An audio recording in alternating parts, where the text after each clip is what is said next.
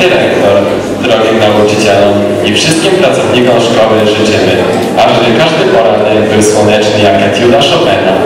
Każdy dzień dawał, dawał moc jak Iron Maiden. Każda lekcja była kompozycją na miarę symfonii Beethovena. Każdy uczeń przy tablicy śpiewał jak John Frusciante. Każda reforma czyniła świat pięknym jak śpiew Placida Dominga. Każdy rok był jak punk rock. Każda klasa była zespołem zgranym jako opera narodowa. Każdy sukces ucznia opaja jak piosenka Breath Pink Floydów. Aby każdy dzień w pracy dostarczał przeżyć niczym najpiękniejszy koncert, a życie wzruszeń miłych dla serca jak muzyka dla ucha.